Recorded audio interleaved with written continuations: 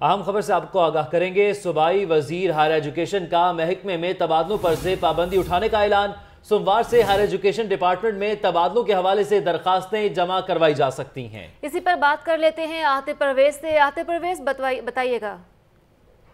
वज़ीर भाई आला तालीम यासर सरफराज हमारियों ने कलमदान संभालने के बाद जो अहम फैसला किया है कि महकमे के जो मुलाजमीन है और साजा हैं वो तबादलों के लिए दरख्वास्त दे सकते हैं पाबंदी उठा ली गई है और ये सितंबर के माह में ही सिर्फ़ दरख्वास्तें जमा करवाई जा सकती हैं और इसके साथ साथ उनका ये कहना है कि अक्टूबर से जो है कोई भी दरख्वास्त इस हवाले से मौसू नहीं की जाएगी। वन विंडो ऑपरेशन इसके लिए कायम कर दिया गया है। वहाँ आपका तफसीत से आगाह करने के लिए।